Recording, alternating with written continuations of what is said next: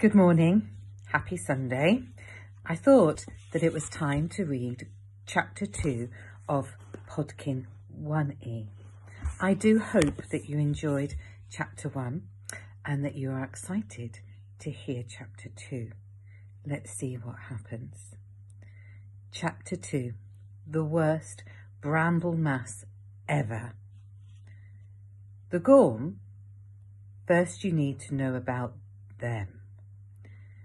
Nowadays, thank the goddess, they are nothing but a bad memory. But back when your grandparents were young, rabbits lived in constant fear of their strange riders, of the screeching of the metal in the night, and the echoing of their terrifying war horns. The Gorm.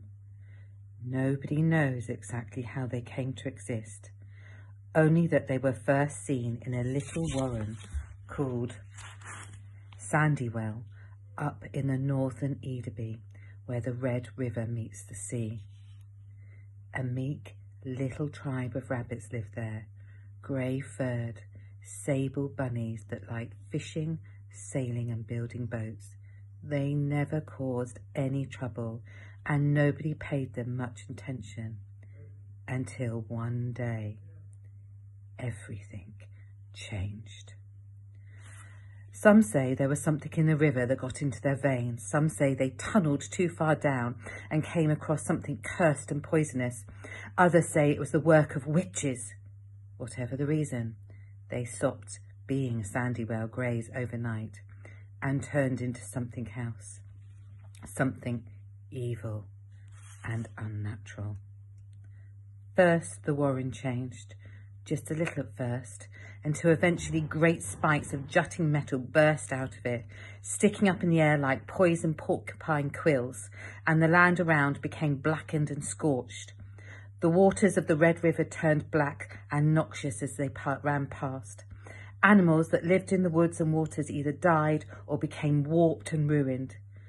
Folk started calling the Woolworm Splinter Home and stayed well away, but that didn't help them. Next, the old Sandywell rabbits reappeared, except now you wouldn't have recognised them.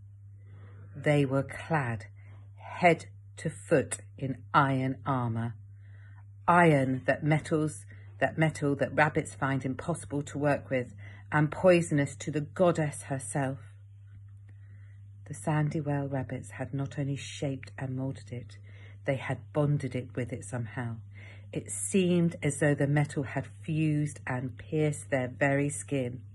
It ran through their veins and bled into their eyes, turning them blank and rusty red. The rabbits used the metal to bend and shape the creatures around them as well. The dumb giant rats that all rabbits use of beasts of burden and the black crows of the nearby woods. They changed them into shrieking flocks of rusted metal harpies.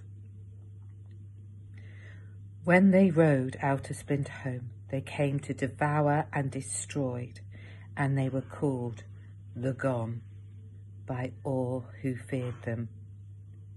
If they called at your warren, then that was the end of you. They would kill you and your chieftain and his sons.